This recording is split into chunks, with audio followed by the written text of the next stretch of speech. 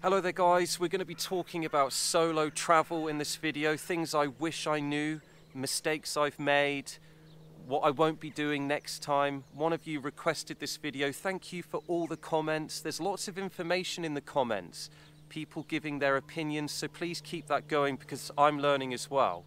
The first thing I would say is don't travel with loads of stuff if you're coming to a rich country like Switzerland, where we are now, or Europe, there's seasons, so just be aware of that. You don't want to be buying a winter jacket in Switzerland because it's going to be expensive. But if you're going to Southeast Asia, you can buy a raincoat there, you can buy t shirts there, you can buy trousers, it's really cheap. So don't bring all of that with you from Europe or the US if you're going there.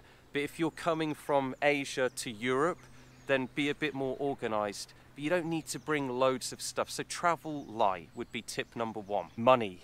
Always bring more money than what you need is the number one thing that I think of. If you think you need a thousand US dollars, bring 2,000. In New York, my card got blocked, so now I always have two cards. One on your phone, the digital, a physical. You can bring a Revolut card as well an emergency 500 US dollars hidden that you don't touch until you come home. I say US dollars because a lot of countries will exchange the US dollar. They might even take it as a visa payment, like in Indonesia or Cambodia. Don't go around with pounds, euros, francs. You can, but there's always that risk. There'll always be someone that will take a dollar. So bring more money, emergency US dollars, more than one card. Do not end up like me in New York. In case your bag gets stolen, your wallet, your passport, you need the emergency plan. That's what I like to call this. I email a photocopy of my passport, my bank card, and my closest friends and family contact information. So I always have that backup there. I can always find a computer, go into my email, and get that information. So the emergency backup plan. Can you see these bees flying around me here? Leads into the next point. Always expect the unexpected. Travel insurance. So many people I met didn't have it when I was traveling. One guy fell off his motorbike. His foot was awful, and, and I said, You really should get that checked. He just didn't do it because he didn't have any health insurance. And the problem is most probably getting worse and worse and worse. The one I used was Digital Nomads. The link will be below and I'll put the price information there. It was 450 US dollars for three months, I remember that much. And that was the whole of Southeast Asia. Definitely, definitely have travel insurance. I just had a Swiss lady ask me why I'm kneeling under this tree and I explained I'm going to tell you this next point. Read reviews before you book all of the reviews and compare on different sites.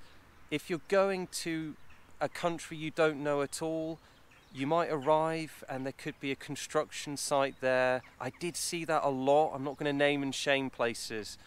Just make sure you don't book a whole week in one place, especially if you're going for a three month trip, because you can, you've got the freedom to move around. I stayed in places, the reviews were good, the bed was full of bed bugs, it was uncomfortable, there was noise, but I'd already booked a week. I'll give you the honest truth, one time it was so bad, I just left. So I lost a week's worth of money. Don't make those mistakes.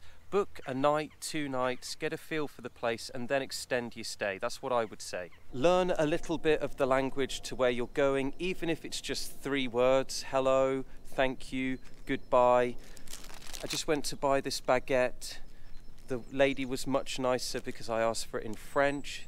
Also, learn a little bit about the culture before you arrive. So, we're in Switzerland, people are quite reserved. They didn't want me to film in there. So, I asked first. Just be aware of where you're going to be, and people will accept you, and you'll actually make more friends from that culture. To end this video, I would say go with the flow, get lost, make mistakes the only way to learn. You'll discover new things along the way and completely let go of your own culture. A lot of people go on holiday and they don't really change their mindset. You need to just if you're going to be in a country where there's a massive population, people whizzing around, if you're used to living in a quiet little village in England, it's going to be a huge culture shock. Well, you've just got to jump straight in and embrace it because otherwise you're going to become frustrated. And I've seen that so many times as I was traveling. So embrace it, enjoy yourselves, don't be so rigid with a plan. My first trip to Thailand or Southeast Asia was supposed to be Thailand, Laos, Cambodia, Vietnam. I met some people in Bangkok. They were saying, I think you'd like Penang Island. And I was like, where's that? And they said, Malaysia. So I ended up going Thailand, Malaysia, Singapore, Indonesia. I had no idea I was ever going to go to Indonesia. And it was great. So be open minded go with the flow, embrace the new cultures, and we're on holiday to have a good time. If you've got your budget, stick within your budget, but don't be tight either. If you've got that amount of money and you know you're going to be able to get through, then enjoy yourself. You only live once and go for it. That's all I can say. So I'll see you in the next video.